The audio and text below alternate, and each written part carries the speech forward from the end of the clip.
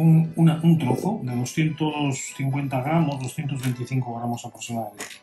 Ya veis que está súper melosito, ya veis qué cantidad de infiltración tiene, este es el certificado de, de trazabilidad del mismo, ¿no?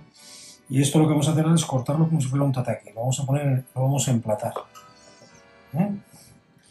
Le vamos a poner un poquito de, de especies, muy poquitas porque no necesita nada, con una ensalada que tenemos ya preparada de frutas y habitas